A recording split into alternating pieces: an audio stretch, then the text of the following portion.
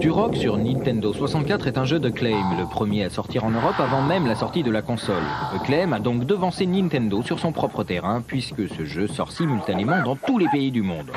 Ben justement, en parlant de notre chère planète, dans Turok il en est question. Et même de ses lointaines origines, car c'est imprécis sur la préhistoire, ses coutumes barbares et ses animaux dangereux.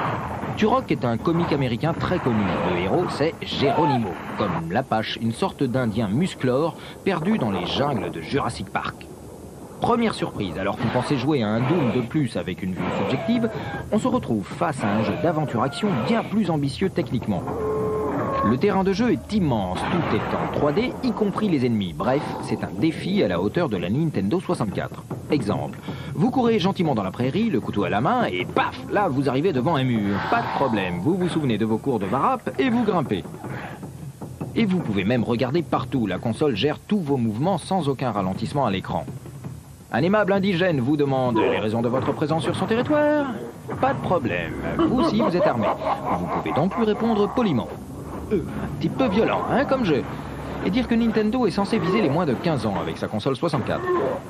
Bon, heureusement, il y a l'option parentale, avec l'option verte spéciale, moins de 12 ans. Le sang prend des allures de sirop à la menthe, on en boirait presque.